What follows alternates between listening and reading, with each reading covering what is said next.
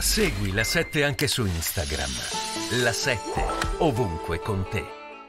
Anche sei mesi eh, di eh, guida al Partito Democratico. Che bilancio si può fare eh, con la segreteria di Ellie Schlein? Quella che ha fatto il dottor Bernabé è una fotografia perfetta di quello che è stato il PD fino adesso.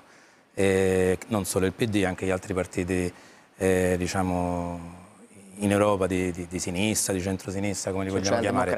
Ragionando in prospettiva, perché la Schlein è stata eletta appunto sei mesi fa, come passa il tempo quando ci si diverte, sei mesi fa, lei è stata eletta per, per cambiarlo l'elettorato, cioè perché in teoria se uno avesse sempre quell'elettorato non si farebbero neanche le campagne elettorali, come dire, tu sei destinato ad avere sempre quelli. Del resto abbiamo fin qui parlato di cioè, di, di, leader che sono arrivati ad avere il 40% ma immaginiamo che voglia aggiungere un pezzo esatto, di elettorato diciamo, l'auspicio di, di, di, di chiunque faccia politica è sempre quello no?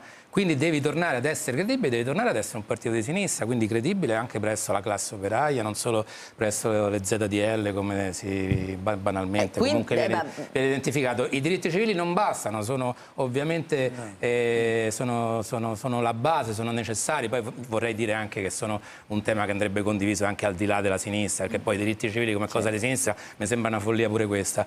E diciamo lo diamo come quando si diceva onestà, onestà, no? Onestà, onestà, io do, do, per scontato che tutti siano onesti in certo, teoria al certo. Parlamento, ne faccio un programma grillini, politico, no? ma era un periodo in cui probabilmente era necessario dire anche le, le, delle banalità che però erano programmi efficaci, cioè delle banalità era, erano necessarie, ecco, chiamiamole così.